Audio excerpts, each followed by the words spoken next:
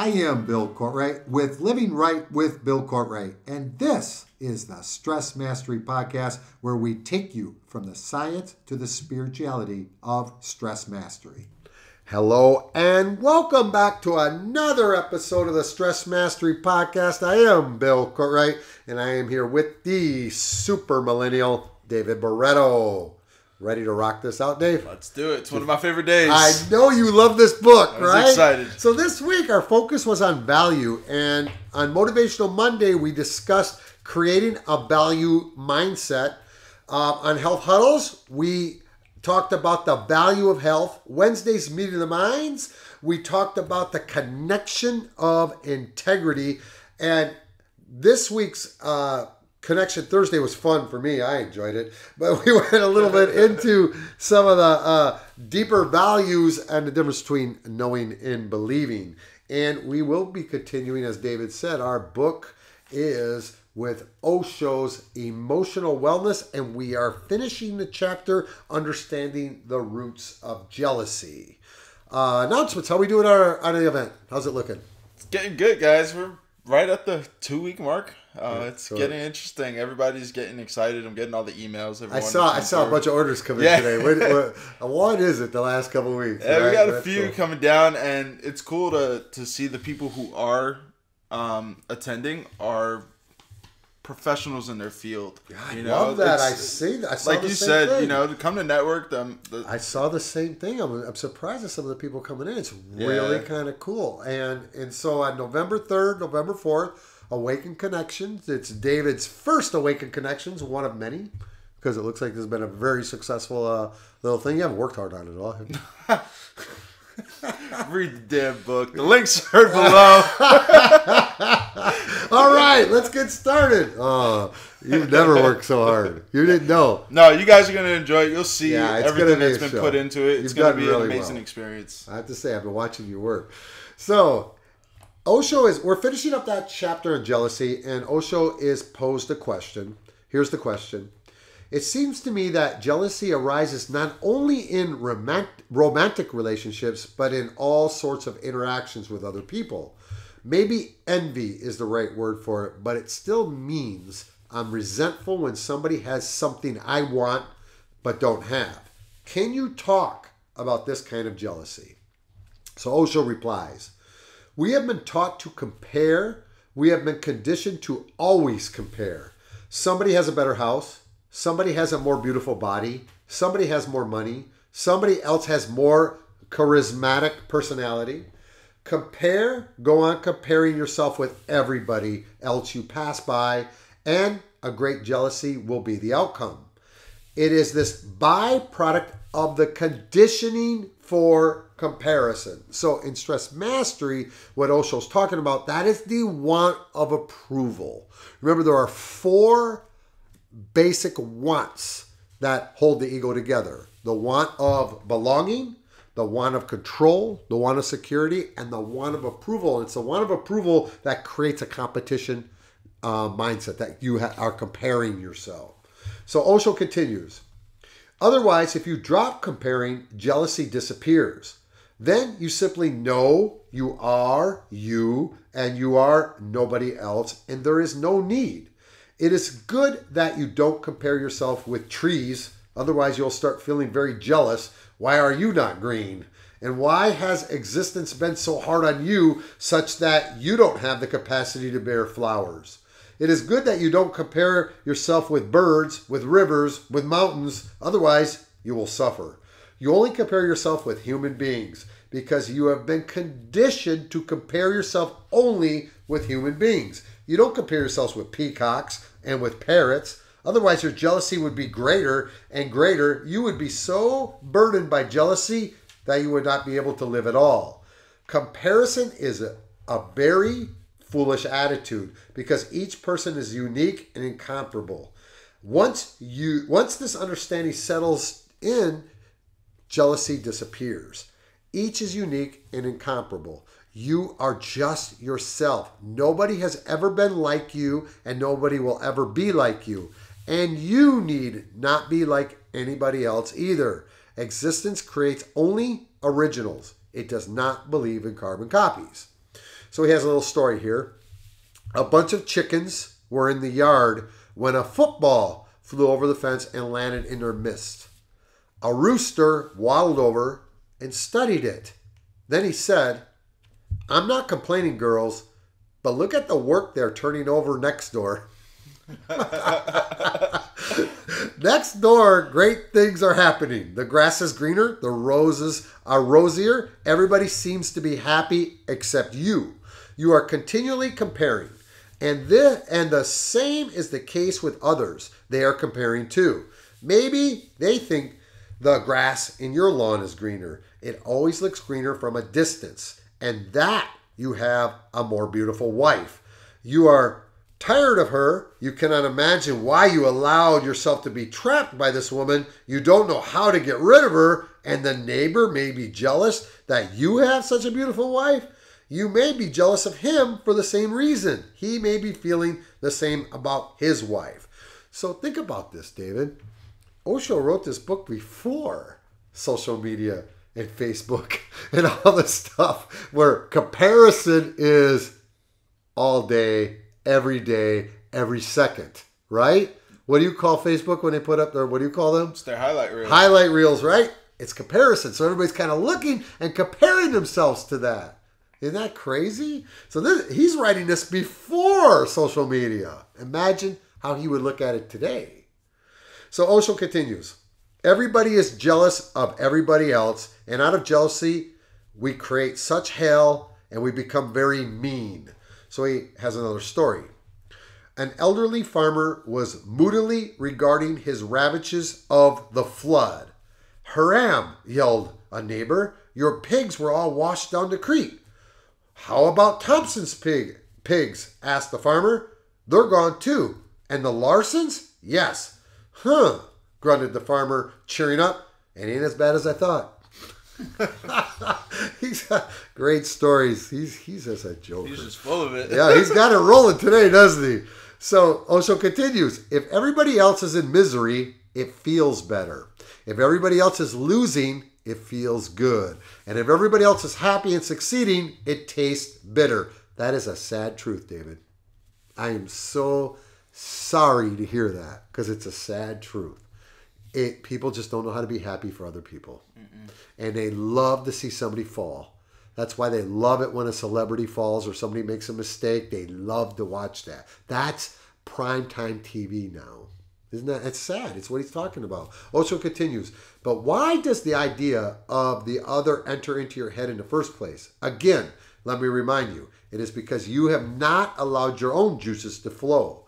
You have not allowed your own blissfulness to grow. You have not allowed your own being to bloom. Hence, you feel empty inside. But you look at each and everybody everybody's outside because only the outside can be seen. You know you're inside, you know the other's outside. That creates jealousy.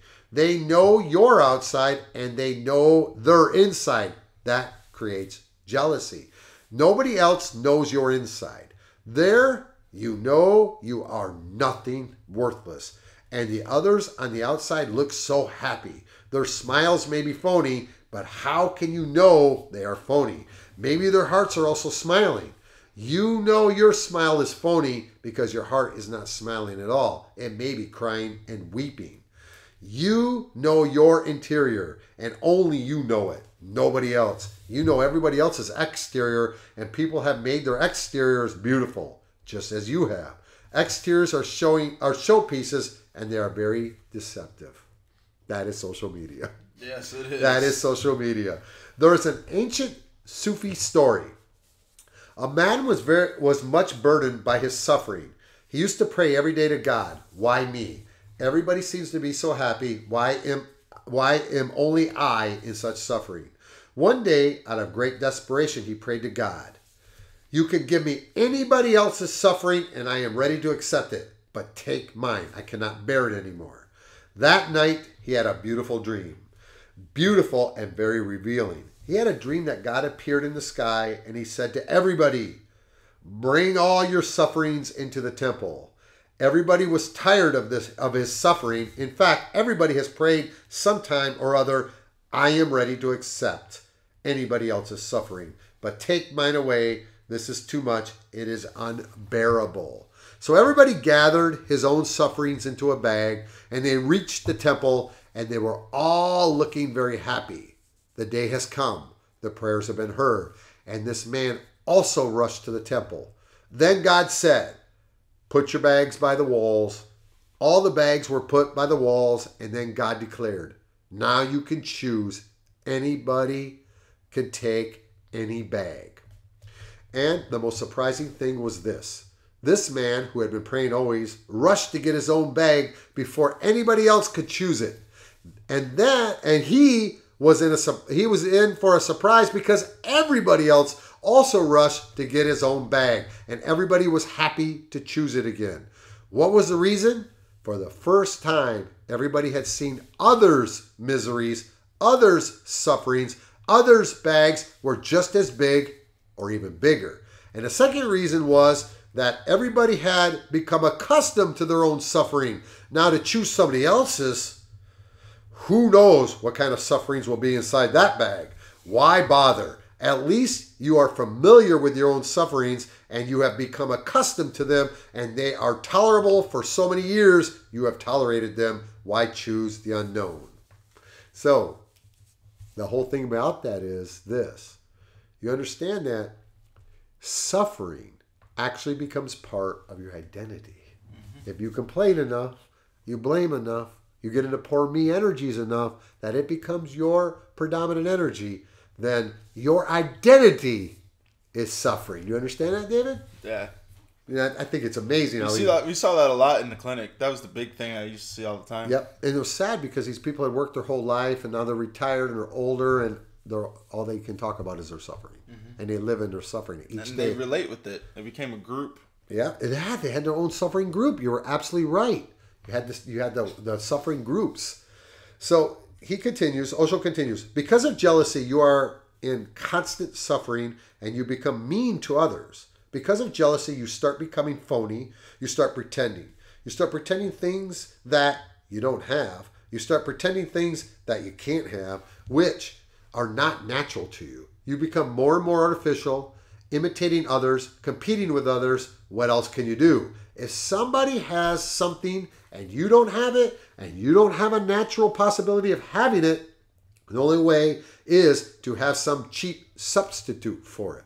So here's a story Jim and Nancy Smith had a great time in Europe this summer. They went everywhere and did everything Paris, Rome, you name it. They saw it and they did it. But it was so embarrassing coming back home and going through customs. You know how customs officers pry into all your personal belongings. They opened up a bag, took out three wigs, silk underwear, perfume, hair coloring. Really embarrassing. And that was just Jim's bag. just just look inside your bag and you will find so many artificial, phony, pseudo things for what? Why can't you be natural and spontaneous? It is because of jealousy. The jealous person lives in hell. Drop comparing and jealousy disappears. Meanness disappears, phoniness disappears. But you can drop it only if you start growing your inner treasures personal development, people. There is no other way. Grow up, become a more and more authentic individual. Love yourself and respect yourself the way existence has made you. And then immediately the doors of heaven open for you. They were always open. You simply had not looked at them. That is amazing stuff right there. I have no comment. Anything you want to add to that? That is so good, right? That is the truth. So then the next question comes up. That's posed to Osho. The question is I am very suspicious of my wife. Although I know she is innocent, what can I do to drop my suspicions? Osho responds There must be something in you that you are really suspicious of. Unless you can trust yourself, you cannot trust your wife or anybody else. If you mistrust yourself, you will project your mistrust on people around you. The thief thinks that everybody is a thief. It is natural because he knows himself, and that is his only way of knowing others. What you think about others is basically a declaration of what you think about yourself. You know that if your wife is not constantly watching you, you will do something. You will start flirting with some woman. You know it. Hence the fear. If I'm in the office, who knows? The wife may be flirting with the neighbors. You know perfectly well what you are doing with the secretary, and that's what is creating the problem. That's why you say, though I know my wife is innocent, still I am suspicious. You remain suspicious till something in you drops. It is not a question about the wife. All questions, when they arise, are really about you. Yes, that's mirroring. That's, I think I like the idea of what way he explains the thief. Mm-hmm. Every thief thinks everybody's a thief, right? It's the truth. So here's a story. A traveling man went on the road for a short trip, but kept staying away. Every few weeks, he'd send his wife a wire saying, Can't come home, still buying. Every wire was the same. Can't come home, still buying. This went on for three or four months. When his wife finally sent him a wire that said, Better come home, I'm selling what you're buying. oh, that's how that's how things happen in life. And Osho goes in with another story. The hungover couple talked about the wild party they held the night before. Darling, this is rather embarrassing, said the husband. But was it you I made love to in the library last night? His wife looked at him reflectively and asked, About what time? so you see how jealousy works, right? So he continues, Osho continues, the basic mistrust must be about yourself.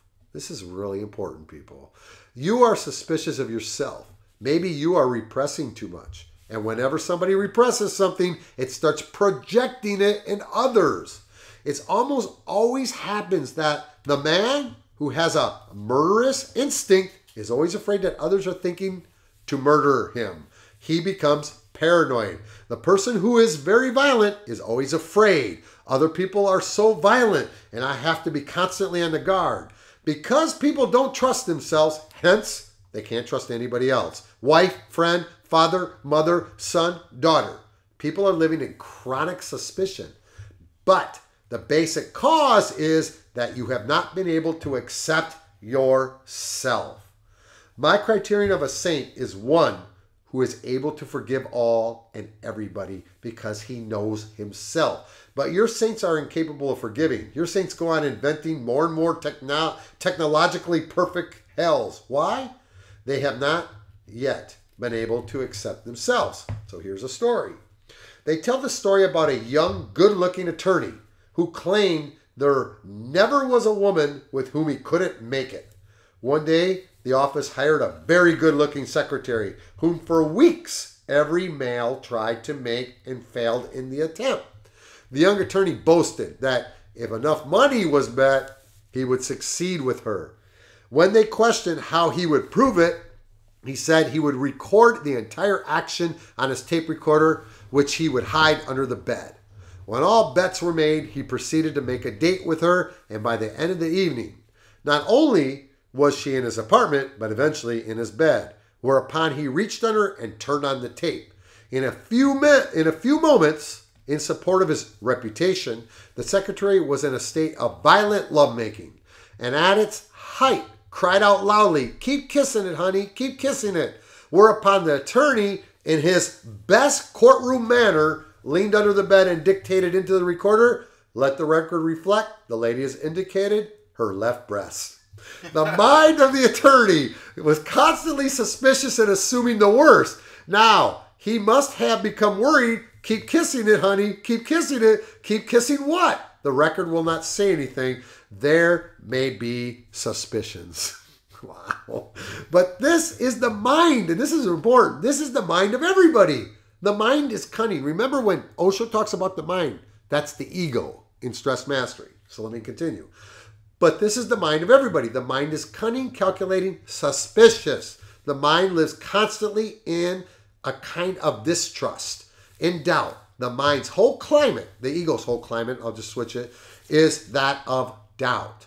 So it's not a question of how to trust your wife, it is a question of how to trust Mind lives in the climate of doubt. It feeds on doubt. And unless you know how to put the mind off when it is not needed and descend into the heart, you will not know how to trust. So, what he's talking about is connection to the heart. It's exactly what we talk about in stress mastery. So, understand the head is the ego, the mind, as Osho puts it, the head creates the stories and all these stories of what's going on. And then when you have stories create mistrust. So Osho continues The climate of the heart is trust. Mind cannot trust. Mind is incapable of trusting, and we have all become hung up in the head. Hence, even though we say that we trust, we don't trust. We insist that we trust, but in our very instance shows that we don't trust. We want to trust, we pretend to trust, we want others to believe that we trust, but we don't trust. The head is impotent as far as trust is concerned. The head is a mechanism for doubt. The head is constantly a question mark. You will have to know how to come down to the heart, which has been bypassed by society. The society does not teach you the ways of the heart. It only teaches you the ways of the mind. It teaches you mathematics and logic, and it teaches you science, etc., etc. But they're all the cult, cult, cultivation of doubt. Science has grown through doubt. Doubt has been a blessing as far as science is concerned. But as science has grown more and more, man has shrunk. Humanity has disappeared. Love has almost become a myth. Love is no more reality on this earth. How can it be a reality? The heart itself has stopped beating. Even when you love, you only think that you love. It comes through the head, and the head is not the faculty for love. And this is what he says. I think this is so important what Osho says here to close out this chapter. Start meditating. Start putting off the constant chattering of the head. Slowly, the mind becomes quiet. Get into things where the mind is not needed. For example, dancing. Dance and dance to abandon because in dance, the mind is not needed. You can lose yourself in a dance. In losing yourself in a dance, the heart will start functioning again. Drown yourself in music, and slowly you will see there is a totally different world of the heart. And in the heart, there is always trust. The heart does not know how to doubt, just as the mind does not know how to trust. So that ends that section on jealousy. And next week we will jump into from fear to love. So, David, that was interesting, huh? That was a good one. That was a good one. So, what are your thoughts? The one thing I, I liked from it, where it's like the self awareness of yourself when you do like the mirroring thing, and the big thing that I like personally like dealt with through that. Once I figured out that I had like I don't want to say an issue, but a program. When I wasn't working on myself, all I could do is focus on that. It was a bigger problem, but like now, like I focus on it in a good way to like release that program. So like when you notice things like that, you're not working on yourself, like your ego will use that against you. I just think it's, it's fascinating what he's talking about the same things we're teaching. He's talking about connecting the heart. See, when he talks about where the heart's disconnected is through tribalization. Mm-hmm. Those first seven years of life, the the culture's job is to break the will of the child so that child will fit into the tribe. And that's the tribalization process. After seven years, you are cut off from the heart and given the identity of the head. And that identity of the head is where doubt is. What creates doubt? The ego creates doubt. What creates doubt is stories. Things can happen, but you're not going to feel doubtful or jealous unless there's a story. Stories cannot happen in the heart. Stories happen in the head because stories have to be from the past or the future. Mm-hmm. There's no story in the present moment. The heart is in the present moment. You can't be jealous in the now. You can't. It's impossible. And that is when you're connected to the heart. So I like what he said is that sometimes you got to shut down the head. So we did an interview with Brett and we did an interview for our new uh, project working with the kids, right? And Brett is my 16 year old son, and we asked him, "How do you handle, you know, things like controversy? How do you handle disruption in your life?" Because this kid's got an edge, right? And what did he tell us? Do you remember what he told us? How he handled that? He shuts down. He, he, He goes, uses yeah, he- music. Yeah, He uses music. And I thought, wow, all oh, you you and I just sat there and listened to him. So he said, Brett said when he's sad, he listens to sad music. And he listens to sad music until the sadness dissipates and goes away. If he's angry, he actually picks angry music. And so what he's doing is he's actually staying within the energy of the activated program until it releases. When people develop jealousy, develop doubt, develop suspicion, it's when they're carrying the program, and that program can only be carried through stories. And that's what the mind and the ego, what Osho's talking about, does. What Brett kind of created, I, I didn't give it to him, created, he created his own method that, okay, I'm upset. So I'm going to be upset. I'm going to listen to music that's going to allow this energy that has caused me to be angry to go away. Mm-hmm. He doesn't carry it into the next day. Now I kind of understand him a little bit better because he's a weird kid. I never understood how how does how does nothing ever bother you? Well, it does bother him, but what he does is he doesn't repress it; he releases it. And I thought this was a that's a good example of what. Will you agree with me? What Osho was teaching there? Yeah. Sit with it. Like, don't run from it. Like, Yes. sit with it and like, yes. look at it. And use, I like that idea of using music. Mm-hmm. And he said, use dance. You know, you go out and dance. Let it go. If you catch me dancing, something's probably like really, really wrong. So I have a challenge for you. Oh boy, How about a little dance at this next event? you lost your mind. I told Come you on. something's really, really wrong. Can you wear? Can you just do like the what's a Scottish dance? Where they oh wear the skirts. no, You got nice legs though. I do. You really I do. That's nice. I wear You some do. really short shorts. Well, that's it for today's show. We're going to end it on that note. Next week, we are going to be talking. Our topic is going to be rebuilding. I've got a very special Health Huddles interview for you guys. Get ready. This guy is fascinating with a new take on how to treat cancer and how to rebuild the body. It's amazing what he talks about in there. So we have that interview and we'll be talking about rebuilding next week. So that's it for today's show. Our mission is to create a shift in the planet. And you can join us on this mission by simply like, share, and subscribe. The links are right below the show. As always, until next time, stay inspired.